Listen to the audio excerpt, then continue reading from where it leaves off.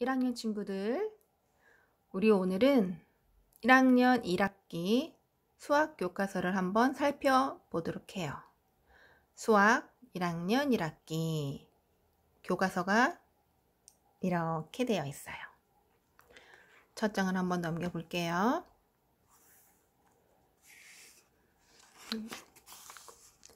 그리고 그 다음에 수학 교과서와 함께라면 수학 공부가 재미있어요 하면서 마찬가지로 이 수학 교과서에 나오는 캐릭터와 그 이름이 소개되고 있고요.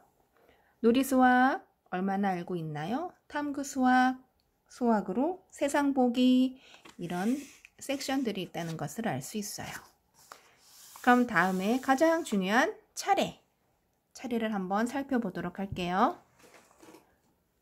1단원부터 5단원까지 1학년 1학기는 이렇게 다섯 단원으로 이루어져 있어요.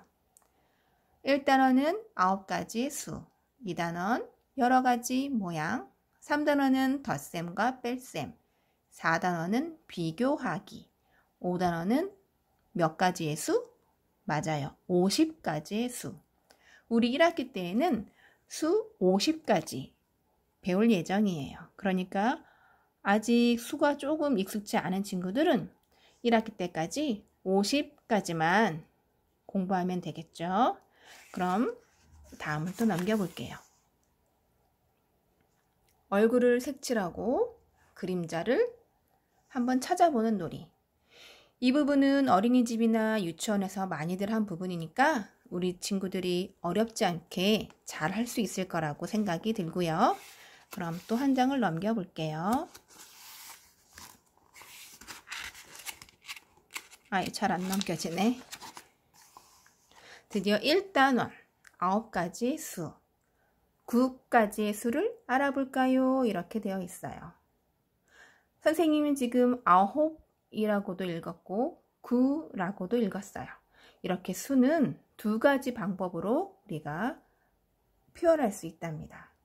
그런데 여기서 하나 알아둬야 될 것은 아직 우리 친구들이 글을 조금 잘 못 읽는다 하는 친구들도 있을 수 있겠고 저 글 아주 잘 읽어요 라고 말하는 친구도 아마 있을 거예요.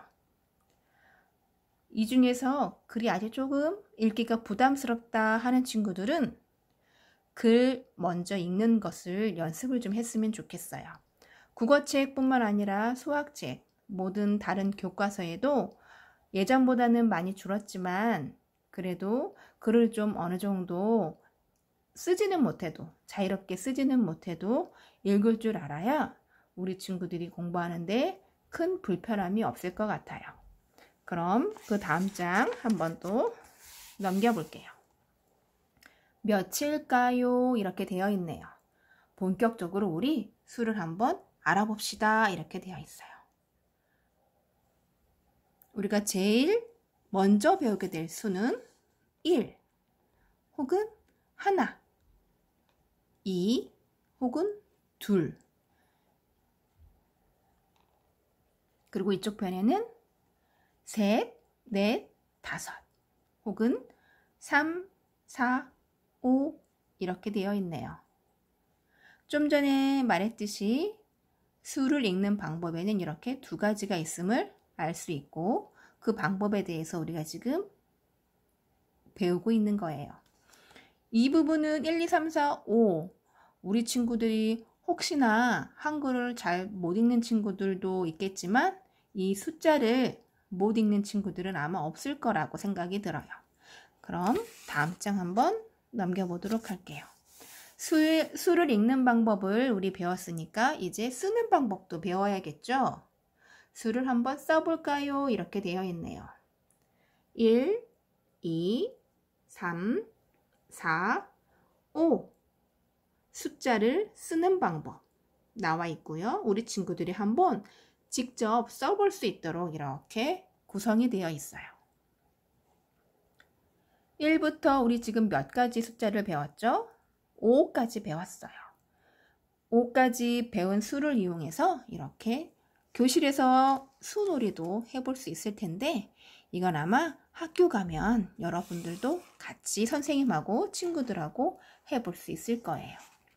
그 다음 장을 넘기면 6, 7, 8, 9 이렇게 9가지, 9까지 수를 배울 수 있어요. 그럼 이제 읽는 방법, 세어보는 방법을 배웠으니 뭘 또 해보면 되겠죠? 맞아요. 바로 수를 한번 써볼까요? 되어 있어요. 그래서 6, 7, 8, 9 이렇게 한번 써볼 수 있게끔 교과서가 구성이 되어 있어요.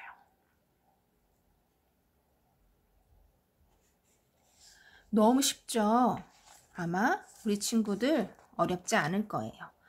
그런데 여기서 선생님이 아까 한 가지 부탁의 말을 했어요.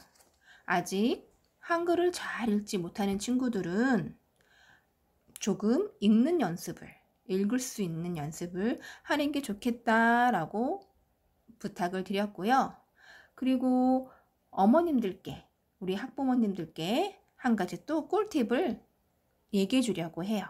그건 바로 뭐냐면 우리 친구들이 이렇게 1부터 9까지 수를 모르는 친구들은 없을 텐데 그리고 이 교과서를 보면서 아, 나1 알아. 나5 어떻게 쓸 줄 알아.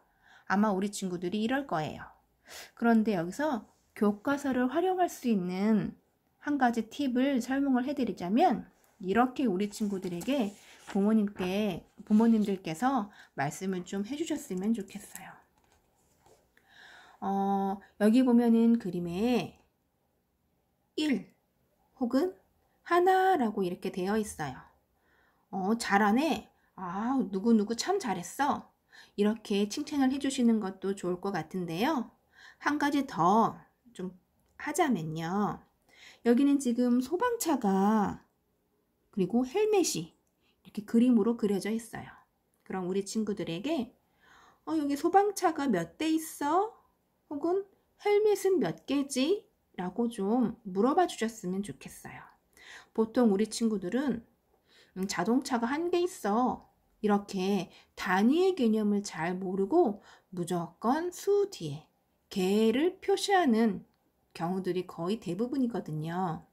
그래서 이 수학 교과서를 활용하는 방법을 좀 말씀드리면 이런 그림을 같이 보시면서 단위의 개념도 연관해서 우리 친구들과 학습을 좀 진행하셨으면 좋겠다라는 말씀을 드리고 싶어서요. 그 옆을 보면 가방이 있고요. 필통이 있고요. 공기, 그리고 책상, 의자가 있어요.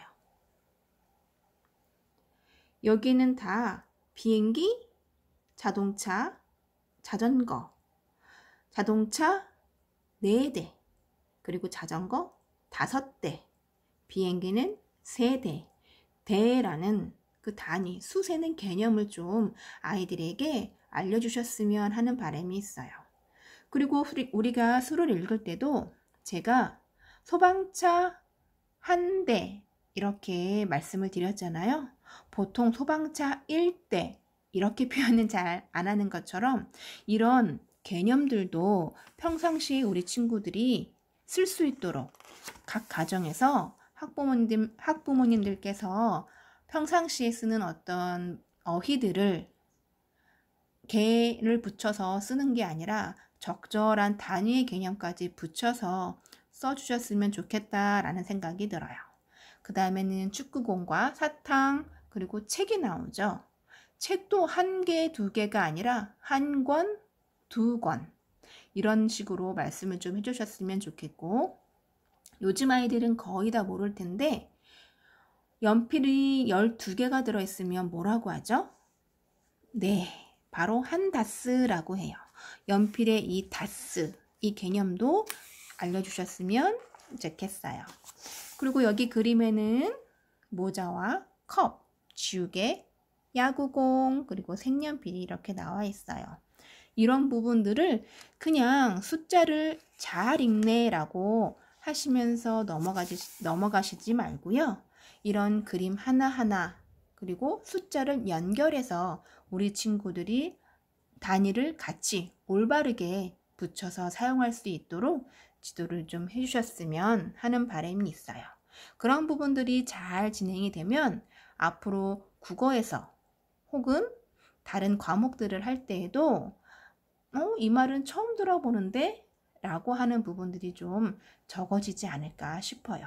요즘 친구들은 어휘 부분을 조금 더 많이 신경을 써야 되는 부분들이 있거든요. 어른들도 혹은 친구들도 이런 부분을 아무래도 요즘은 조금 소홀히 하는 거, 소홀히 하는 그런 부분들이 있는 것 같아요.